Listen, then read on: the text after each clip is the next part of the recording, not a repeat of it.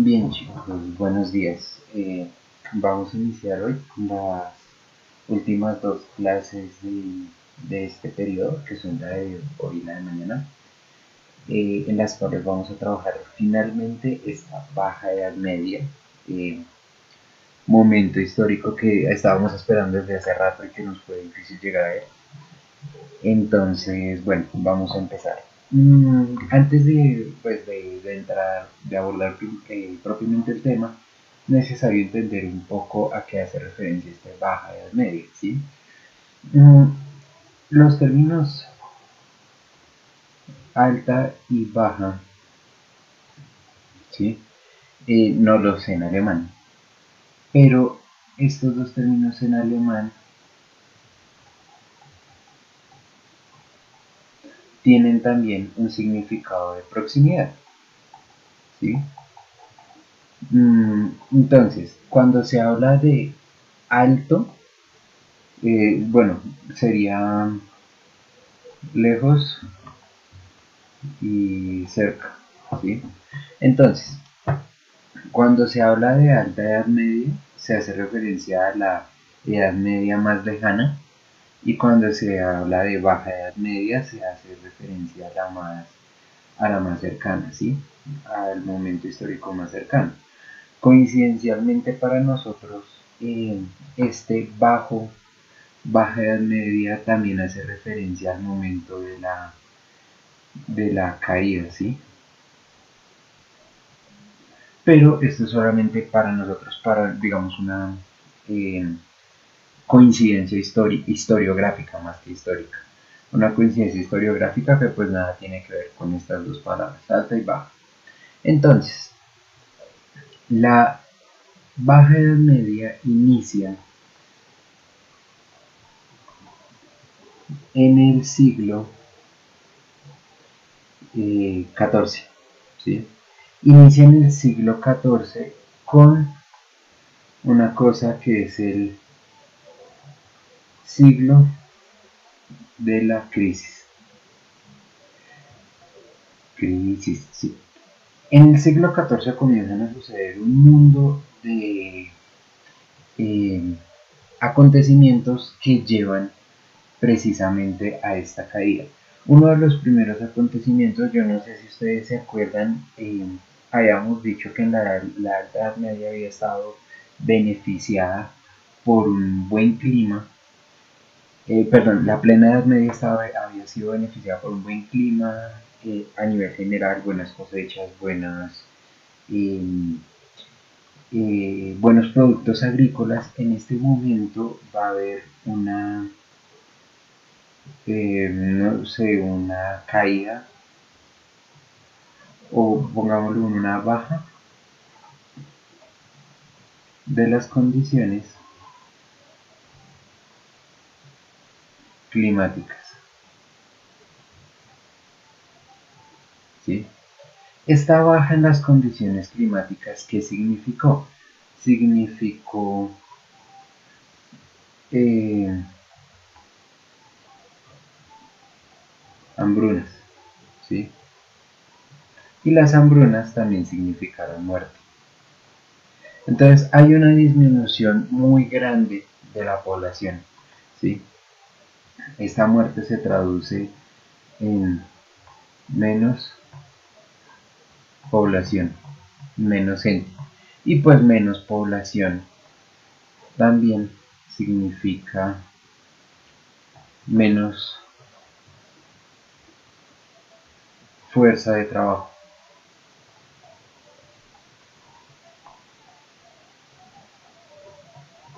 Recordemos que en la eh, plena Edad Media se había establecido un modelo feudalista completo, modelo feudalista que estaba basado en que los eh, siervos se encargaban de producir el campo.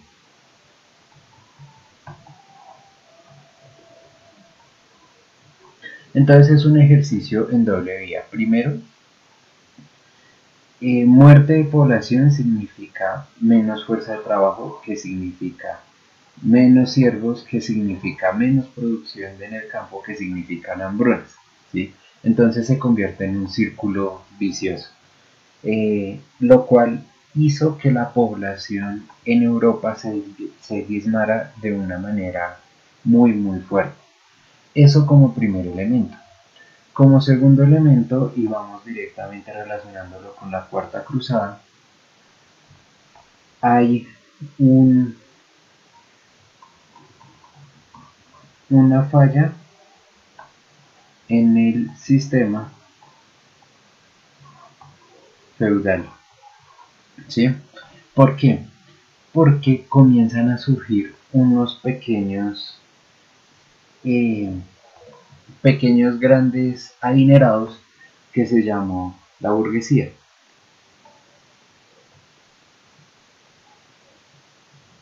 ¿Sí? Esta burguesía comienza a surgir gracias a los dineros. Mm, no, dineros no. Gracias a las riquezas, el dinero tiene una concepción diferente. A la riqueza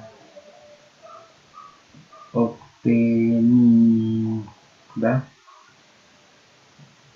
en las conquistas.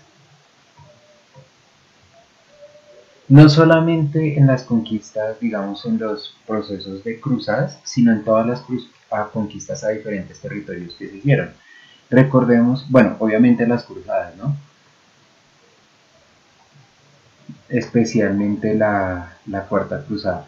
Recordemos que en estas cruzadas también participaban eh, hijos de mercaderes. Más que todo en esta cuarta cruzada, ¿no? Esta cuarta cruzada tiene una cualidad especial que si ustedes recuerdan es que no hay reyes, ¿sí? Vamos a ponerle con la palabra completa, eh, que no hayan reyes quiere decir que los, las ganancias, todos estos bienes van directamente a los hijos de los mercaderes o a los eh, participantes en general, fueran campesinos o mercaderes, ¿no? Pero estos hijos de mercaderes que tenían milicia, o sea, que tenían el poder económico para comprar tropas, pues empezaron a significarle un auge a la burguesía, un, aumento en el dinero de la burguesía. Este aumento de este surgimiento de la burguesía surgió, eh, significó también otra cosa, que es la creación de los salarios. ¿sí? Entonces, Vamos a poner acá un pequeño paralelo rápido entre la época feudal y los salarios. ¿sí? En la época feudal, el siervo trabaja para el señor, ¿sí? El señor feudal, ah, el señor feudal feudal. ¿Y qué es lo que gana? Y gana, eh, bueno, pongámosle lo mínimo para vivir. Para vivir. Hay que estar, está lo que es vivienda y comida. Bueno, y un poco seguridad. Pero entonces la vida de un siervo se reducía a estas tres cosas. A su vivienda, a su vida y a la seguridad que le daba el territorio donde vivía. ¿sí? Esta seguridad solamente era dada mientras estuviera en el territorio del señor feudal. Por otro lado, el salario, en este caso es un empleo, entonces es una relación entre trabajador, trabajador y en este caso burgués. Es decir, estas personas que están acá, la burguesía, que son los hijos de los mercantiles, que son los, los señores mercantiles, eh, son los que entonces relacionan esto. El trabajador entonces de esta relación tiene un salario y este salario se traduce en dinero. Si el salario se traduce en dinero, eso quiere decir que además de todos estos, o sea, además de que puede tener vivienda, comida y seguridad, también puede tener educación. Puede tener territorio. Puede tener entretenimiento. Porque tiene que ser una palabra tan larga. Entretenimiento. Eh, puede tener entretenimiento, muchas otras cosas, ¿sí? Este entretenimiento no pues ir a cine o cosas por el estilo, pero por ejemplo salir una tarde a tomarse una cerveza, que eso sí lo había. Eh, muchas cosas. Puede tener y, principalmente, pues aparte de todo esto, como si no fuera suficiente, tiene libertad. ¿sí? Entonces, las personas que trabajaban por un salario eran libres de usarlo en lo que quisieran, de vivir donde quisieran, de ir a donde quisieran. Cosa que no estaba acá. En este, en este de acá no había esta libertad. Siempre tenían que servir al señor feudal. Entonces, la creación de los salarios significó eh, lo que habíamos dicho acá arriba, ¿no Sí, significó acá una falla en el sistema feudal, otra vez. Entonces, la creación de los salarios jode este sistema feudal en cierto sentido, lo, lo complica muchísimo. Entonces, ¿qué significó todo esto para Europa? Si las personas ya no, ya no trabajan, o sea, si nuestro sistema económico está en la caída, está en, picada, las personas, eh, los burgueses están aumentando y eh, la cantidad de, de mano de obra disminuye, ¿qué significa eso? Bueno, esto generó un paso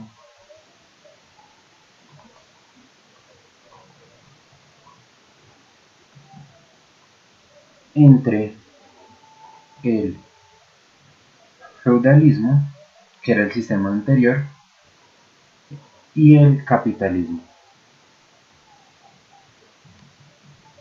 Aquí surge entonces el primer ejercicio capitalista. ¿sí? Ahorita hablamos una poquita cortica de él. Este ejercicio capitalista es un capitalismo de tipo mercantil. ¿sí? Es muy diferente al capitalismo que tenemos hoy en día. ¿sí? Han habido cuatro momentos del capitalismo, este es solamente el primero, el capitalismo mercantil. Después hay un capitalismo que se llama capitalismo industrial, después un capitalismo que se llama capitalismo de... Eh, ay, se me olvidó el nombre ahorita. Eh, tengándolo ahí un momentito, ya les digo. Ya, capitalismo de monopolio y un tercer momento que es un capitalismo global. Un cuarto momento que es un capitalismo global. Entonces está mercantil, industrial, de monopolio y global. Este es un primer capitalismo mercantil. ¿Qué significa este capitalismo? Y esto es muy importante que lo tengan en cuenta desde ya. El capitalismo no es acumulación el capitalismo no es acumulación, nunca es acumulación. El capitalismo es inversión de capital. Inversión de capital. Entonces, capital pueden ser dos cosas. Capital monetario. No, perdón, tres cosas capital monetario, capital de trabajo o capital eh, de infraestructura.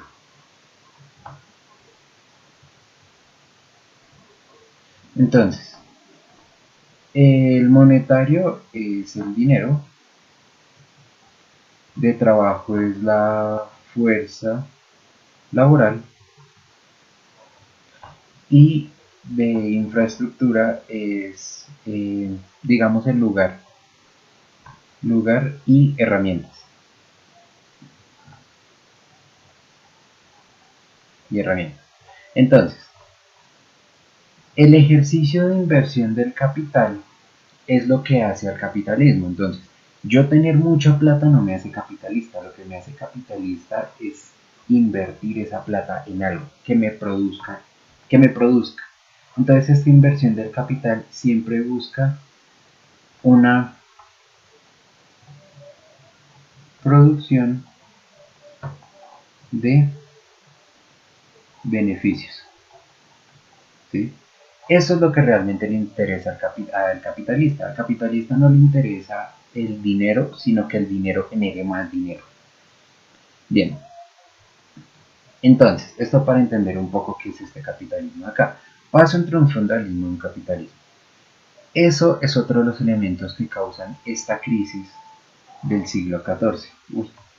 sí, esta crisis del siglo XIV. Entonces, todo esto va a configurar lo siguiente.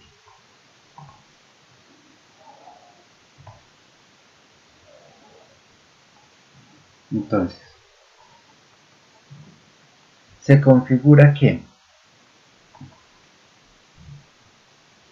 bueno, vamos a cambiar de color porque ya no se ve nada, menos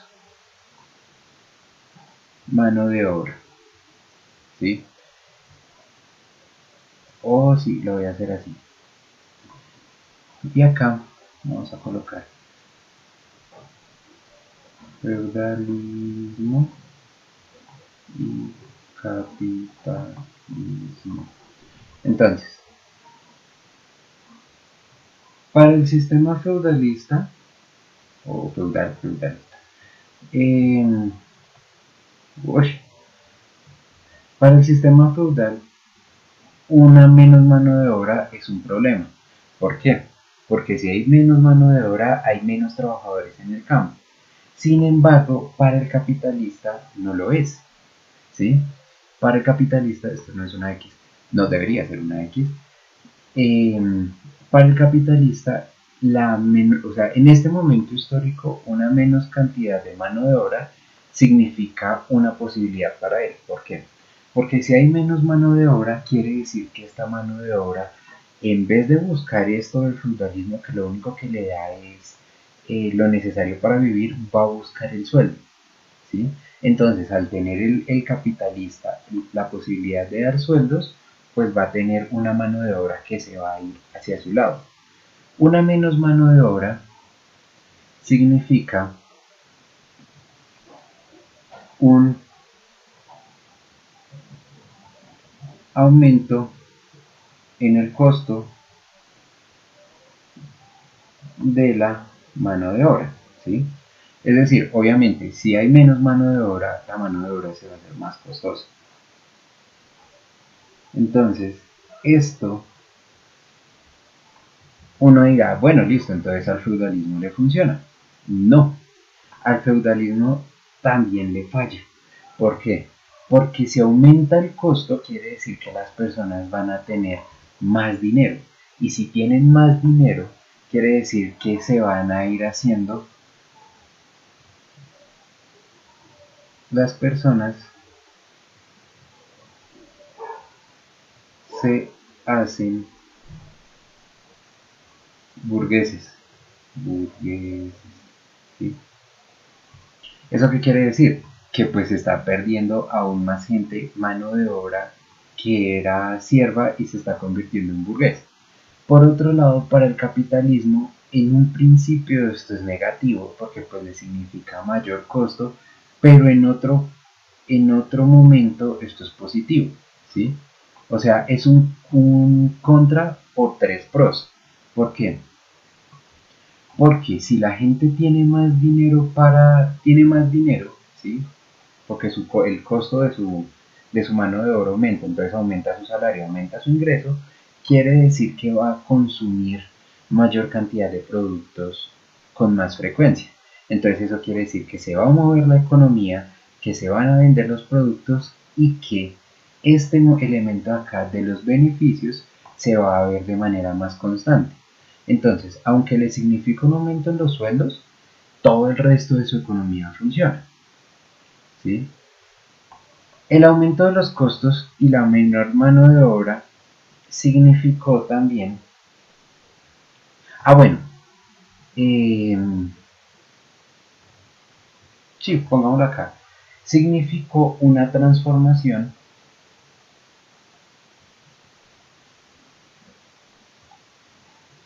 en la producción. ¿Por qué? Porque transformación en la producción. ¿Por qué? Porque una eh, si hay menor mano de obra y yo necesito producir lo mismo, tengo que mejorar mi técnica de producción. ¿sí? Entonces yo voy a buscar como capitalista esta transformación. O sea, mi objetivo entonces como capitalista va a ser esta transformación en la forma de producción. Por otro lado, para el feudalismo eso va a ser negativo. ¿Por qué? Porque si hay una transformación en la producción y no tengo trabajadores para que me hagan esa transformación, va a significar menos ingresos.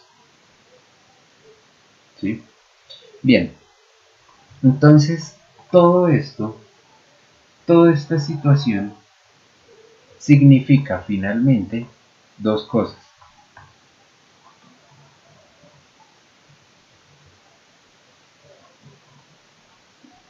Primero, una reducción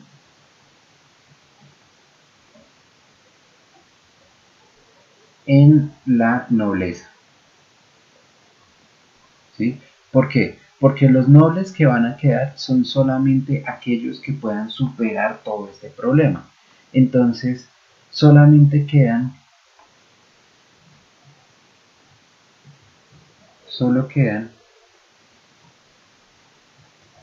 los grandes nobles.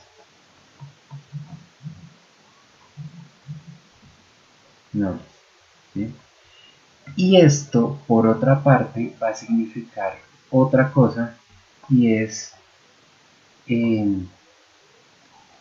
empoderamiento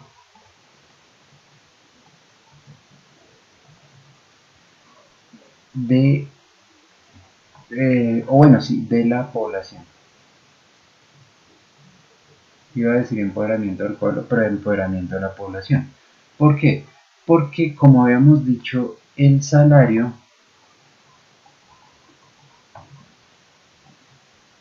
permite educación.